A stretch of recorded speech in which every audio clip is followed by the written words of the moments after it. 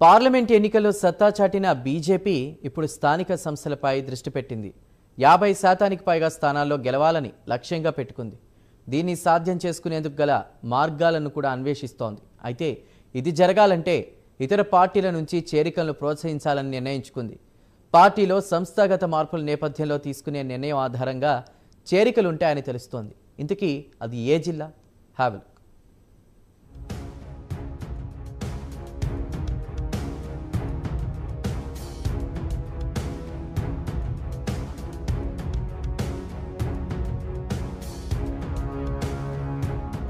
ఇటీవల పార్లమెంట్ ఎన్నికల్లో బీజేపీ విజయం సాధించడంతో పాటు జిల్లాకి చెందిన బండి సంజయ్కు కేంద్ర మంత్రి పదవి రావడంతో జిల్లాలో బీజేపీ క్యాడర్ మంచి దూకుడు మీదుంది. ఆపరేషన్ ఆకర్ష్ ద్వారా పార్టీలోకి చేరికలను ప్రోత్సహించాలని కమలం పార్టీ వ్యూహాలు పన్నుతోంది. రాష్ట్రంలో పార్టీని మరింత బలోపేతం చేయడానికి ఇతర పార్టీల నుంచి చేరికలను ప్రోత్సహించాలని బీజేపీ భావిస్తోంది. రాష్ట్రంలో అధికారంలో ఉన్న కాంగ్రెస్కు చెక్ పెట్టాలంటే ఇది తప్పనిసరని బీజేపీ భావిస్తుంది. బీఆర్ఎస్ అధికారం కోల్పోవడంతో పాటు పార్లమెంట్ ఎన్నికల్లో సైతం పేలవమైన ప్రదర్శన కనబరచడంతో ఆ పార్టీ నుంచి వలసలు భారీగా ఉండే అవకాశాలున్నాయి.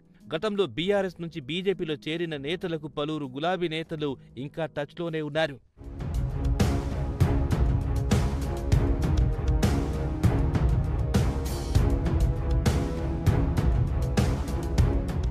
ఇతర పార్టీలోంచి రావడానికి సిద్ధంగా ఉన్న వారితో సంప్రదింపులు జరిపి పార్టీలోకి చేర్చుకోవాలని కమలం పార్టీ ప్లాన్లో ఉన్నట్లు సమాచారం. ఇప్పటికే బీజేపీలో ఉన్న నేతలు పలువురు నాయకులతో చర్చలు సైతం జరిపినట్లు సమాచారం. స్థానిక సంస్థల ఎన్నికల్లో సత్తా చాటాలంటే బీఆర్ఎస్ గ్రౌండ్ను ఖాళీ చేయాలని కమలనాథులు భావిస్తున్నారు. తెలంగాణలో కాంగ్రెస్ అధికారంలో ఉండడంతో ఆ పార్టీని ఢీకొట్టడం కష్టతరం అవుతుందని అందుకే ప్రధానంగా బీఆర్ఎస్ను టార్గెట్ చేసుకుని ఆ పార్టీ కార్యకర్తలను నాయకులను చేర్చుకోవాలని కాషాయ పార్టీ నేతలు భావిస్తున్నారంట. బీజేపీ జాతీయ నాయకత్వం నుంచి మొదలు రాష్ట్ర నాయకత్వం వరకు త్వరలో మార్పులు జరుగుతాయని ప్రచారం జరుగుతుంది. ఈ నేపథ్యంలో పలువురు స్టేట్ ప్రెసిడెంట్ పోస్టును ఆశిస్తున్నారు. ఎవరికి వారుగా ఆ పోస్టు కోసం ప్రయత్నాలు చేస్తున్నారు. కానీ పార్టీ ఎవరిపై భరోసా ఉంచుతుందనేది వేచి చూడాలి. ఈ క్రమంలో స్థానిక సంస్థల్లో సత్తా చాటాలంటే రాష్ట్ర వ్యాప్తంగా బలమున్న నేతకు ఇస్తేనే చేరికలు పెరుగుతాయని పార్టీ సైతం భావిస్తున్నట్లు తెలుస్తోంది.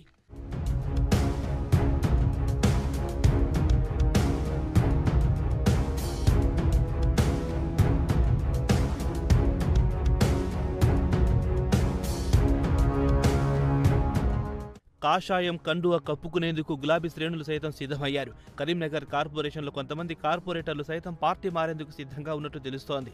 గతంలో కరీంనగర్ మేయర్ సునీల్ రావు బీజేపీ నేతలపై ఘాటు వ్యాఖ్యలు చేశారు. ఉన్నట్టుండి మేయర్ సునీల్ రావు కేంద్ర హోంశాఖ సహాయ మంత్రి బండి సంజయ్ని పొగడడం ఇప్పుడు చర్చనీయాంశంగా మారింది. ఉమ్మడి జిల్లాలో పార్టీని మరింత బలోపేతం చేసే దిశగా బీజేపీ ఇప్పటికే పావులు కదుపుతోంది. పార్లమెంట్ ఎన్నికల్లో బీజేపీకి ఓటు బ్యాంకు పెరగడంపై అధిష్టానం హ్యాపీగా ఉందంట. దీంతో టార్గెట్ రెండు వేల ఇరవై తొమ్మిది దిశగా ఆ పార్టీ ముందుకు అడుగులు వేస్తోంది. రాష్ట్రంలో ఎన్నడూ లేని విధంగా ఎనిమిది ఎంపీలను గెలుచుకోవడం ఓటు బ్యాంకు సైతం భారీ స్థాయిలో పెరగడంతో ఇప్పుడు బీజేపీ చేరికలపై ఫోకస్ పెట్టినట్లుగా సమాచారం. అందులోనూ కరీంనగర్ ఎంపీ బండి సంజయ్ కుమార్ భారీ మెజార్టీతో గెలుపొందడంతో ఇప్పటికీ ఆయనకు ప్రశంసలు లభించాయి. అలాగే ప్రధాని మోదీ కేబినెట్లో చోటు లభించింది. కేంద్ర హోంశాఖ సహాయ మంత్రిగా బాధ్యతలను అప్పగించింది.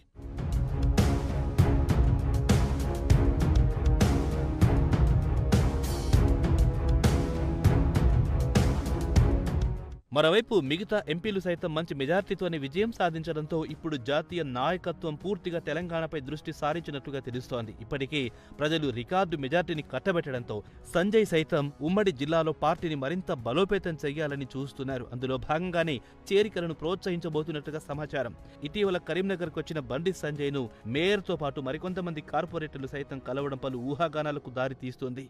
భారీగానే చేరికలుంటాయని ఆయన అనుచరులు అంటున్నారు. మొత్తానికి రాబోయే రాబోయే కార్పొరేషన్ ఎన్నికలను టార్గెట్ చేసుకుని బీజేపీ ముందుకెళ్తోందని తెలుస్తోంది. చూడాలి మరి ఏం జరుగుతుందో.